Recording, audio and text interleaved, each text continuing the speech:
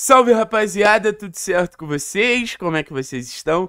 Espero que todos estejam maravilhosamente bem, porque amanhã já tem estreia do Atlético na Copa Sul-Americana. Eu confesso que eu tô muito animado. Vejo a Copa Sul-Americana como uma possibilidade de título muito grande para o Atlético nesse ano de centenário. Vejo a Copa Sul-Americana como uma possibilidade para o Atlético realmente conseguir é, algo maior do que só o Campeonato Paranaense em 2024. E a gente sabe que a Copa Sul-Americana é um campeonato que abre portas, né? A gente joga Recopa na temporada que vem, a gente joga Libertadores na temporada que vem, te dá uma moral internacional muito grande, te bota numa posição de prestígio ali no ranking da Comebol, que a gente sabe que também é muito importante é, quando você vai disputar constantemente competições internacionais por questão de chaveamento, por questão é, de, de, de ser cabeça de chave, então Copa Sul-Americana tem um tamanho muito relevante para o Atlético, tem é, uma importância muito grande na história recente do clube. Foi a partir da Copa Sul-Americana que o Atlético conseguiu é, crescer, mudar de patamar internacionalmente, ser um clube ainda mais respeitado. Então, um carinho muito grande com a Copa Sul-Americana, um respeito muito grande com a Copa Sul-Americana. E, óbvio, quando a gente vai iniciar uma competição, quando a gente vai iniciar uma disputa ali, a gente sempre busca entender quais são as nossas principais armas, né? Eu acho que o Atlético tem um time muito bom. Eu acho que poucos times na Copa Sul-Americana começam a competição com tantos jogadores bons. É Godoy, é Esquivel, é Gamarra, é Thiago Helena, é Eric, é Fernandinho, é Zapelli, é Cristian, é Mastriani, é Pablo, é Canova. Então, assim, realmente tem um elenco muito interessante, mas eu quero falar sobre o técnico Cuca. O próprio técnico Cuca, internamente, se define como um verdadeiro estrategista. Um estrategista puro. E ele usou bastante desse lado estrategista nesses primeiros jogos à frente do Atlético, né? Em um primeiro momento, jogos na Arena da Baixada, a gente tenta controlar um pouco mais o jogo, a gente tenta ser um pouquinho mais protagonista, natural. Dentro da sua casa, o Atlético realmente precisa tomar iniciativa. Dentro da sua casa, o Atlético realmente precisa ser essa equipe que pelo menos tenta controlar mais as ações da partida e às vezes a gente vê um Atlético até sofrendo, como foi no primeiro tempo contra o Operário na Arena da Baixada, mas se você for pegar os 45 contra o, os 45 contra o Londrina inicial, 45 contra o Londrina final, 45 contra o Operário inicial, 45 contra o Operário final dentro da Arena Baixada, né? Que até agora são só esses dois jogos da Era Cuca dentro da Arena da Baixada. O Atlético teve 75% ali de, de um jogo muito controlado, 75% de um jogo onde o Atlético cria bastante, oferece poucas chances ao adversário. E a gente vê até uma escalação um pouquinho mais é, propícia para isso, né? E que, que escalação é essa? Quando você tem Fernandinho, quando você tem Zapelli. Fica muito claro que quando o Atlético tem esses dois jogadores, quando o Cuca opta por esses dois jogadores, a gente tem um Atlético mais preparado para controlar, um Atlético mais preparado para ser dono da partida ali como um todo. Fora de casa, num primeiro momento, acho que a gente até sofre um pouquinho mais contra o Operário e o Cuca entende depois daquele primeiro tempo contra o Operário que a gente sai perdendo, depois a gente acaba virando o jogo ao natural. A gente nem perde no primeiro tempo, né? A gente sai perdendo no jogo, mas a gente empata já no primeiro tempo e vira no segundo tempo, mas ao natural ele entende que a gente tem que ter uma equipe mais física. É o que ele faz no segundo tempo contra o Operário, quando a equipe melhora lá em Ponta Grossa e contra o Maringá no primeiro jogo da final. Aí um jogo bem físico, aí um jogo de bem de bastante disputa, aí um jogo de bastante confronto. Então acho que a partir de agora está muito claro. Dentro de casa, um Atlético mais ofensivo, mais agressivo, com mais posse de bola, tentando controlar mais o jogo.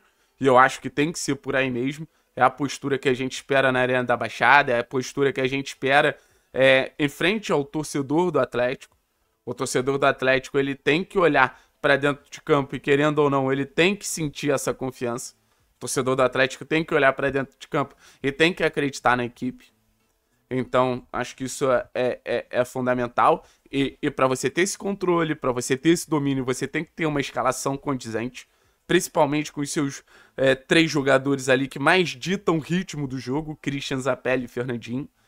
Podem não estar vivendo seu melhor momento na temporada, mas são jogadores com maior capacidade técnica ali para fazer acontecer. Eu espero que a gente veja isso bastante no segundo jogo da final contra o Maringá. Tenho expectativa que o Atlético domine, que o Atlético controle o jogo muito a partir desse setor protagonista, podemos dizer assim, que é o setor de meio campo. E fora de casa, um Atlético de mais disputa, fora de casa, um Atlético de mais confronto, fora de casa, um Atlético de mais imposição física. E, cara, sabe qual é o nome disso? Adaptação. Adaptar o contexto, adaptar o cenário, adaptar ao que a gente espera, querendo ou não, da equipe. E eu acho que isso é muito interessante, porque a gente tem uma mudança de perspectiva ao longo da temporada, quando você primeiro tem um Osório que acreditava tanto no modelo dele, que não tentava se, é, se adaptar. O Osório em nenhum momento tentou se adaptar. E o Cuca já é diferente. É um técnico que busca se adaptar, é um técnico que busca entender cenários, é um técnico que busca fazer com que o modelo dele não seja o mais importante. Tocar conforme a música é o mais importante. Se adaptar aos cenários é o mais importante. Acho que é até nobre da parte do Cuca, por ser um técnico muito vencedor, por ser um técnico muito bem sucedido, não ter esse modelo dele como a prioridade do trabalho dele. O Osório ele só não ficou no Atlético porque ele priorizou mais o modelo do que as vitórias.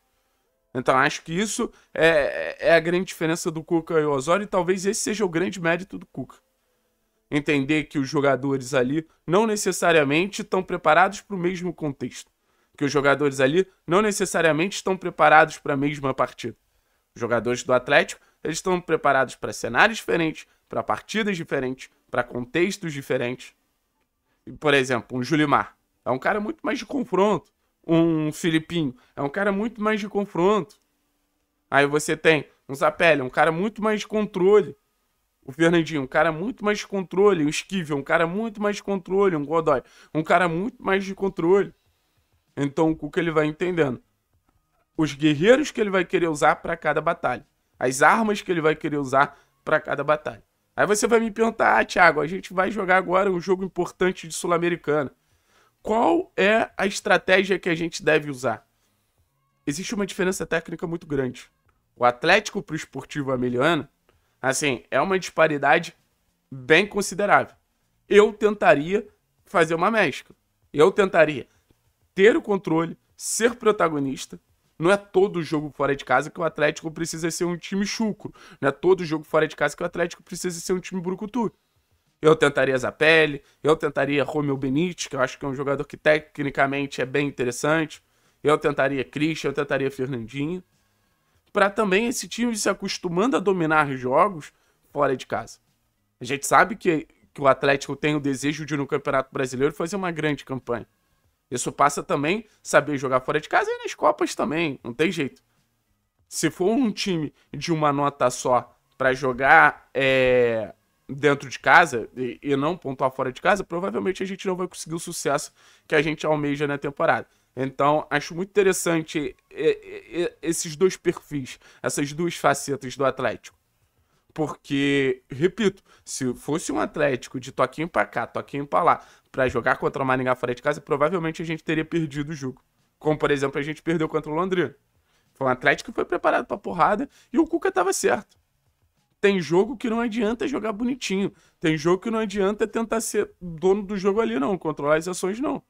Tem jogo que você precisa saber se impor fisicamente de verdade. Beleza, pessoal? Então, assim, é... a gente tem um grande treinador, não tem muito para onde. A gente tem um treinador muito bom, um treinador que já passou por muita coisa, então a experiência do Cuca fala muito alto. Acho que ele não vai tentar cometer os erros que cometeu em outros momentos e acho que ele não vai tentar, como eu falei, botar a vaidade dele em primeiro lugar, porque ele sabe que para nutrir essa imagem de técnico vencedor, até pensando em, em, em um Cuca egocêntrico, é vencendo. O, o, o grande elixir do sucesso se chama vitória. Não se chama toque de bola, não se chama jogo posicional, se chama vitória. Valeu, pessoal. Tamo junto a nós. Deixa o like, se inscreve no canal que é muito importante vambora.